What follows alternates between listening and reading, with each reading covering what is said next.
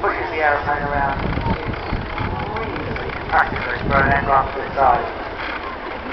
Aircraft entered service at the Royal Air Force as part of the V-Force. The V-Force, uh, along with the Valiant and Signature aircraft, uh, was designed to carry the British nuclear deterrent at the time.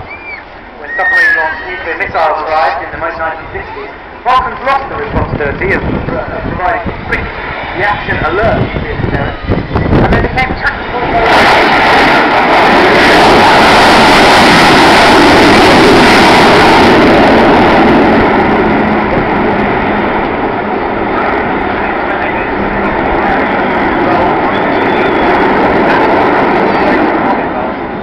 they. The.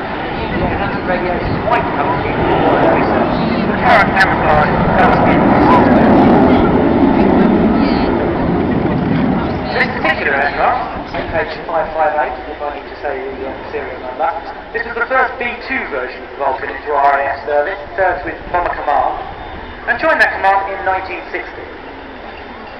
Now, this aircraft, first